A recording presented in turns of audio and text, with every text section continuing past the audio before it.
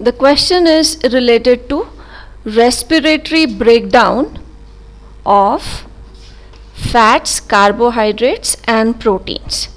To understand this, let us see this flow chart. Normally, the respiratory substrate is a polysaccharide or a carbohydrate. This carbohydrate undergoes glycolysis. Pyruvic acids are formed here. The pyruvic acid gets converted into acetyl coenzyme A and acetyl coenzyme A then participates in citric acid cycle.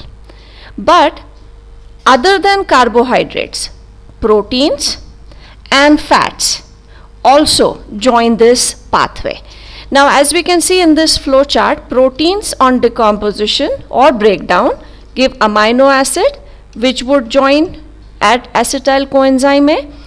Fats break down into glycerols and fatty acids and these fatty acids are joining at the same place. That means acetyl coenzyme A is the common substrate when we talk of the breakdown of proteins, carbohydrates and fats. So, B option which says acetyl coenzyme A is our correct answer.